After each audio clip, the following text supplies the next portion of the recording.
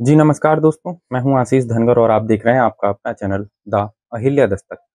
इन दिनों social media पर एक खबर बहुत तेज़ी से वायरल हो रही है। दरअसल वो खबर यह है कि उत्तर प्रदेश की हाथरस लोकसभा सीट से बहुजन समाज पार्टी ने एक ऐसा प्रत्याशी उतार दिया है कि जिसके समाज से हमेशा से ही बहुजन समाज पार्टी का छत्तीस का आंकड़ा रहा है। जी हाँ दोस्तों, मैं बात कर रहा हूँ धनगर समाज के प्रत्याशी हेम बाबू धनगर की। दरअसल दोस्तों, हेम बाबू धनगर, जेपी धनगर जी के बेटे हैं और जेपी धनगर जी लगातार एक लंबे समय से धनगर समाज के हकदारों की लड़ाई के लिए संघर्षरत रहे हैं। और जेपी धनगर जी ने कहीं ना कहीं अपनी सरकारी नौकरी में भी लात मार दी थी, क्योंकि वो कहीं ना कहीं एक बहुत दूरगामी सोच के व्यक्ति रहे। उन्होंने धनगर समाज के हकदारों की लड़ाई के लिए जो संघर्ष किया है, वो कहीं ना कहीं काबिल तारीफ़ है। और कहीं ना कहीं धनगर समाज के प्रचार में उनकी अहम भूमिका रही है। और इसके पीछे का कारण कहीं ना कहीं यही माना जाता रहा है कि धनगर समाज से कहीं ना कहीं जेपी धनगर जी को बहुत लंबे समय से जो है लगाव रहा। कहीं ना कहीं ऐसा माना जाता रहा है कि जेपी धनगर जी ने पूरब से लेकर पश्चिम तक और उत्तर से लेकर दक्षिण तक धनगर समाज के लिए जो संघर्ष जेपी धनगर जी ने किया, वो शायद शायद ही कोई कर पाए।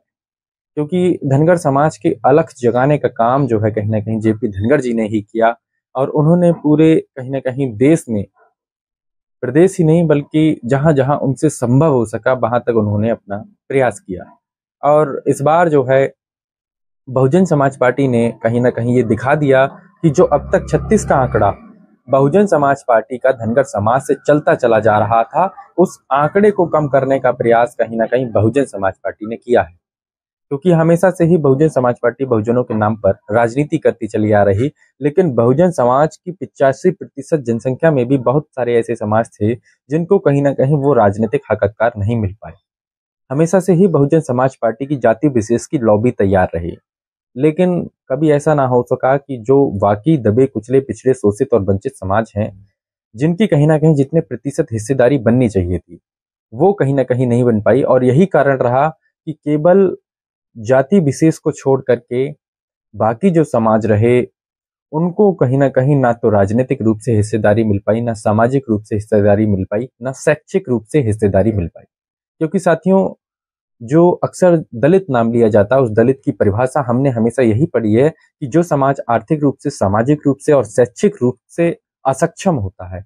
उसी समाज को दलित कहा जाता है। ऐसी परिभाषा तमाम इतिहास की सामाजिक किताबों में दी है। लेकिन साथियों, बहुजन समाज पार्टी की सुप्रीमो मायावती हमेशा से यही दावा करती चली आई हैं कि उन्होंने दलितों के भले के लिए हर एक काम किया। लेकिन इसी के बीच में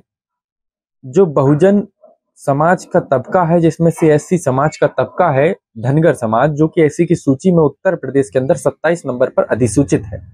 उसको कहीं ना कहीं हकतकार दिलाने में कहीं ना कहीं जो हेरा फेरी की गई बहुजन समाज पार्टी के द्वारा, वो कभी भुलाई नहीं जा सकती। इस मामले को लेकर के मैं आगे वीडियो लाऊँगा कि किस तरह से बहुजन समाज पार्टी ने धनगर समाज के साथ अन्याय किया और उस अन्याय को आज तक धनगर समाज भुगत रहा है। आज ये आर्थिक रूप से सक्षम नहीं हो पाया, आज ये सामाजिक रूप से सक्षम नहीं हो पाया, आज ये राजनीतिक रूप से सक्षम नहीं हो पाया तो इसके पीछे का बड़ा कारण कहीं ना कहीं बहुजन समाज पार्टी रही। लेकिन तमाम संघर्षों के बाद में वो कहते हैं कि देर आए, लेकिन दुरुस्त आए।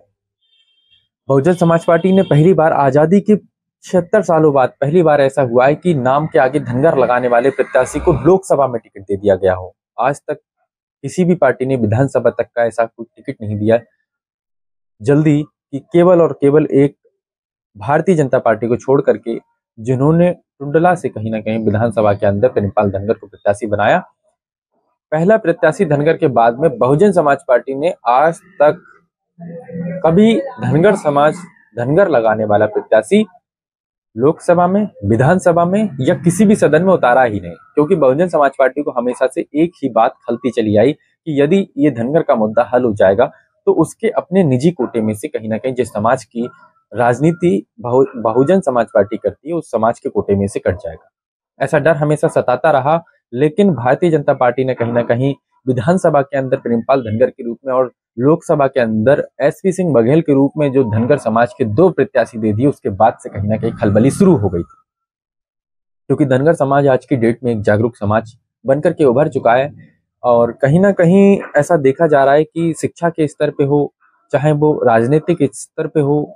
एक बहुत तेज़ी से बढ़ता हुआ समाज, यदि कोई समाज अब प्रगति कर रहा है तो कहीं ना कहीं धनगर समाज भी उसमें नॉमिनेटेड है। हर जगह कहीं ना कहीं किसी ना किसी चीज़ को लेकर के आंदोलन लगातार तेज़ी से बढ़ रहे हैं और कहीं ना कहीं हमेशा से अभी मैंने देखा था फिरोजाबाद के अंदर महाराज सिंह धनगर के नेतृत्व में समाजवादी पार्टी के रूप में, कहीं ना कहीं समाजवादी पार्टी के नेतृत्व में जो धनगर समाज की विशाल जनसभा हुई, उससे भी पूरे फिरोजाबाद पे बहुत बड़ा असर पड़ गया। क्योंकि हज़ारों की संख्या में लोग टोपी लगाए थे और टोपी पे लिखा था, मैं हूँ धनगर या फिर महाराज सिंह धनगर इस तरह से टोपी लगाए हुए थे कहीं ना कहीं एक चीज़ तो साफ़ तौर पर नज़र आ गई है कि धनगर समाज अब कहीं ना कहीं पहले से बहुत बड़ी रोटेशन ले रहा है और बहुत बड़े रूप में जागृत हो चुका है। प्रदेश के तमाम ऐसे जनपद रहे जिनमें धनगर समाज के लो, लोगों ने ज़बरदस्त तरीके से हलचल पैदा कर दी।